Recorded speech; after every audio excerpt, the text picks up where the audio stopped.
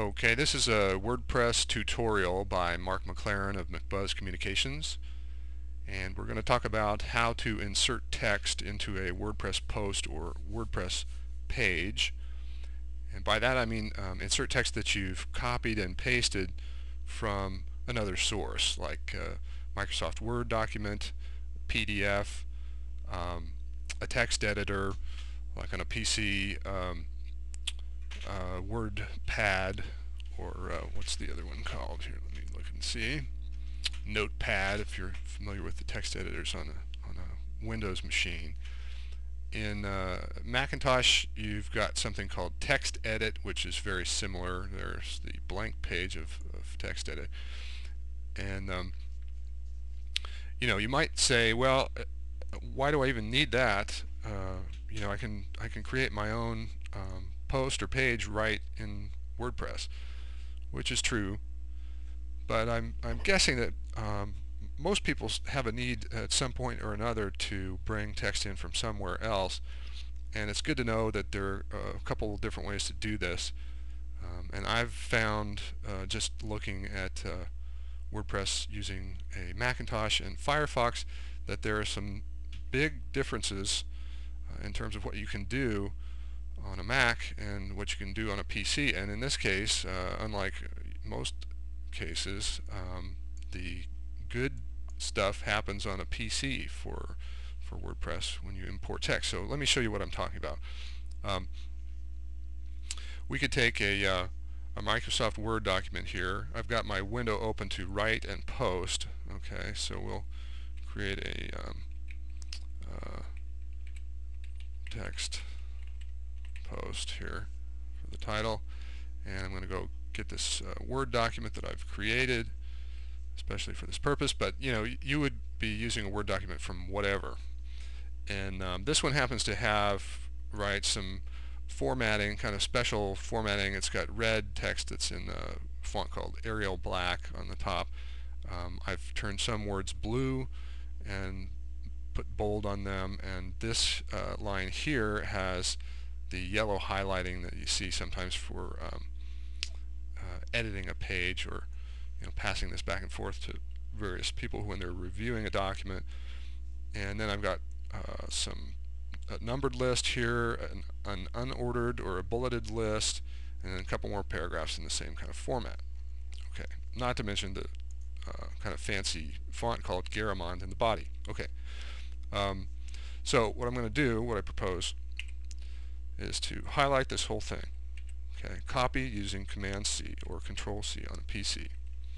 And then I'm going to go to my WordPress uh, window.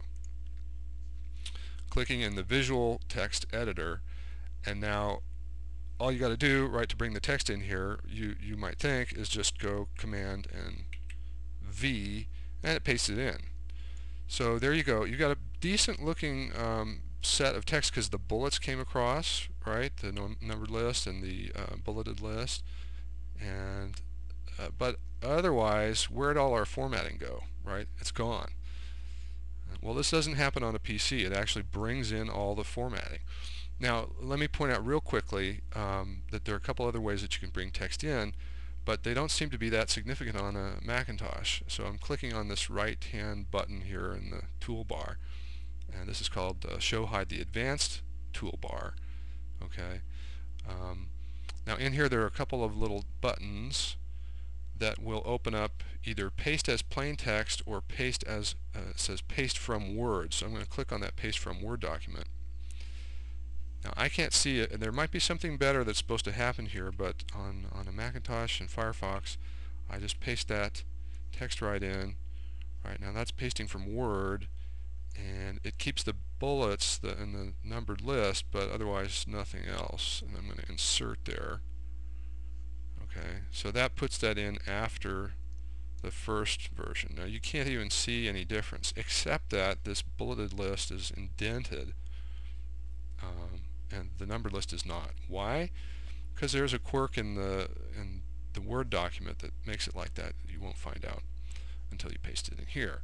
Okay the other option paste as plain text. Um, just control V pasting into that window. Okay, you've got a, a little checkbox here for keeping line breaks. Um, you can mess around with that. And then I hit insert again or I hit insert with that uh, paste as plain text box.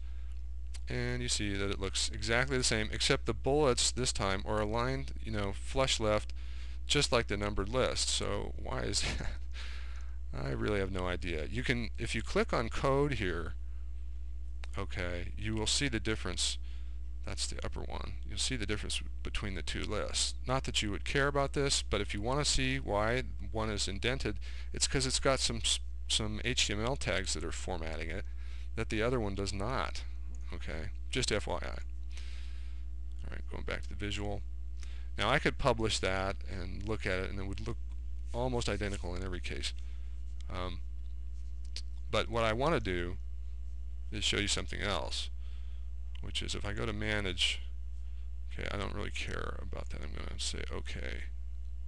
Get a little alert that says, do you want to go away from this page because I'm not going to save anything that you've done here. Um, here is another post that I created. Okay, I'm just going to open it up. Kind of prefab for this tutorial, but you'll see, oh gosh darn it.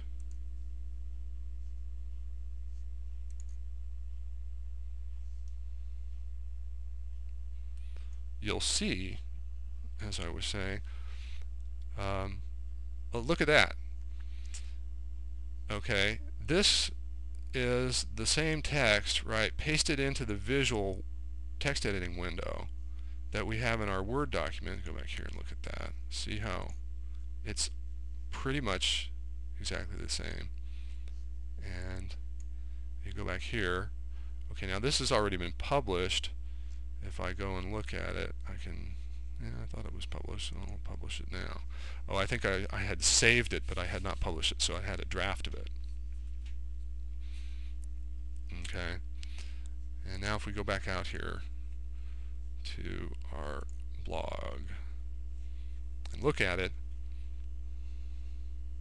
there it is. Okay, here was the other tutorial that we, or you know, the, the post that we just created.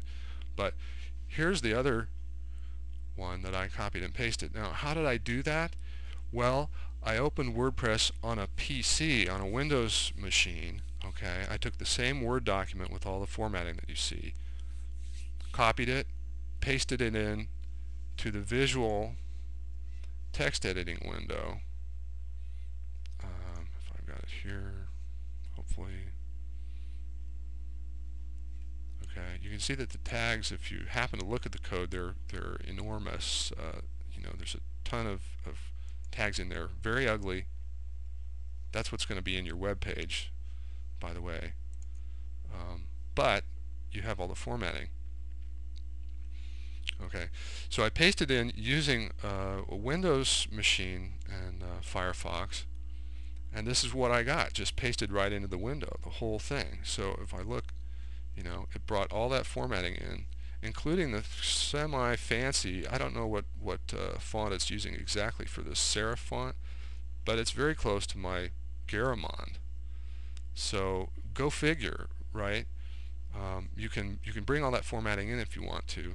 That might save you some time if you're composing uh, and you want to, you know, include formatting that you can't even necessarily attempt in WordPress alone.